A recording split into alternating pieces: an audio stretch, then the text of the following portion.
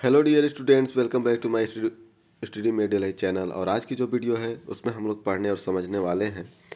कार्यपत्रक 45 यानी worksheet number 45 जो class six के सामाजिक ज्ञान के बच्चों के लिए दिनांक 29 दिसंबर 2021 के लिए शेड्यूल किया गया है, और जिसका विषय है उपनिषद। तो बच्चों, आइए देखते हैं। जिस समय बुद्ध उपदेश दे रहे थे, उसी समय या उससे भी थोड़ा पहले दूसरे अन्य चिंतक भी कठिन प्रश्नों का उत्तर ढूँढने का प्रयास कर रहे थे। उनमें से कुछ मृत्यु के बाद जीवन के बारे में जानना चाहते थे, जबकि अन्य यज्ञों की उपयोगिता के बारे में जानने के इच्छुक थे। इनमें से अधिकांश चिंतकों का यह मानना था कि इस विश्व में कुछ ऐसा तो है जो अस्थाई है और जो मृत्यु के बाद भी बचा रहता है। उन्होंने इसका वर्णन आत्मा तथा ब्रह्म और सार्वभौम आत्मा के रूप में किया है। वे मानते थे कि अंततः आत्मा तथा ब्रह्म एक ही हैं, ऐसे कई विचारों का संकलन उपनिषदों में हुआ है। उपनिषद उत्तर वैदिक ग्रंथों का हिस्सा थे।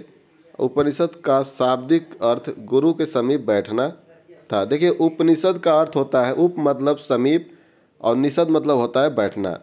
मतलब गुरु के समीप बैठने को बोलते हैं उपनिषद। इस ग्रंथों में अध्यापकों और विद्यार्थियों के बीच बातचीत का संकलन किया गया है। प्रायः यह विचार सामान्य वार्तालाप के रूप में प्रस्तुत किए गए हैं। हमने देखा कि उपनिषद का अर्थ क्या होता है? उपनिषद का अर्थ होता है, गुरु के समीप बैठना। और इसमें जो भी विचारक थे, उनका यही लक्ष्य था कि संसार का त्याग जब होता है, जब आदमी मरता है तो वो कहाँ जाता है? और उस पर विशेष फोकस किया गया था उस समय। और देखिए, एक कहानी हम लोग पढ़ेंगे, बुद्धिमान भिखारी। ठीक है? तो एक कहानी है बुद्धिमान भिखारी की तो उसके विषय में हम लोग आइए पढ़ते हैं। देखिए, यह वार्तालाप छांदोग्य उपनिषद नामक प्रसिद्ध उपनिषद की एक कहानी पर आधारित है। सौनक व अभिप्रताड़ित सौनक और अभिप्रताड़िन नामक दो ऋषि सार्वभौम आत्मा की उपासना करते थे। सार्वभौम मतलब हर जगह।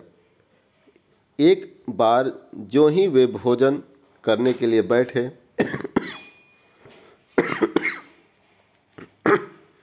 एक भिखारी आया और भोजन मांगने लगा। सौनक और अभिप्रताड़िन क्या था कि दो ऋषि थे और वो सार्वभौम उष्मा का जो है, उपासना करते थे। एक बार जो ही वे लोग भोजन करने के लिए बैठे ही थे कि एक भिखारी आया और वो भोजन मांगने लगा। सौनक ने कहा, हम तुम्हें कुछ नहीं दे सकते। ठीक है? भिखारी ने पूछा विद्वान जन आप किसकी उपासना करते हैं? तो अभी प्रताड़िन ने उत्तर दिया, सार्वभौम आत्मा की। ओह, इसका मतलब आप यह जानते हैं कि यह सार्वभौम आत्मा संपूर्ण विश्व में विद्यमान है। ऋषियों ने कहा हाँ हाँ हम यह जानते हैं। भिखारी ने फिर पूछा, अगर यह सार्वभौम आत्मा संपूर्ण विश्व में विद्यमान है तो यह मेरे अंदर भी विद्यमान है।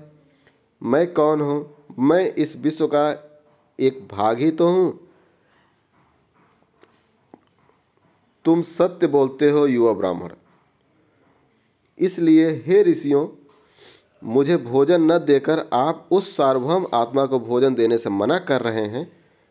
भिखारी की बात की सच्चाई जानकर ऋषियों ने उसे भोजन दे दिया। देखिए, ये जो कहानी है, इसका वर्णन छांदोग्य उपनिषद में दिया गया है और इसमें एक बुद्धिमान ब्राह्मण मतलब बुद्धिमान भिखारी आता है। और वहाँ दो ऋषि बैठे होते हैं, सौनक और अभिप्रताड़िन वे लोग भोजन कर, करना शुरू ही कर रहे होते हैं, तब तक वो भिखारी आता है और भोजन की मांग करता है।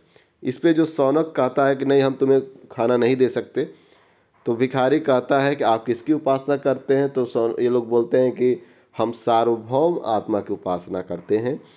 तो वो, चूँकि जो भिखारी था, वो काफ़ी बुद्धिमान था।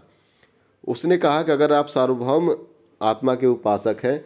तो यानी कि ये जो आत्मा है, ये सब में विद्यमान है। अगर मुझे आप भोजन नहीं कराते हैं तो कहीं ना कहीं आप सार्वभौम आत्मा का क्या करें? निरादर कर रहे हैं। उनको, उन्हीं को आप भोजन देने से मना कर रहे हैं।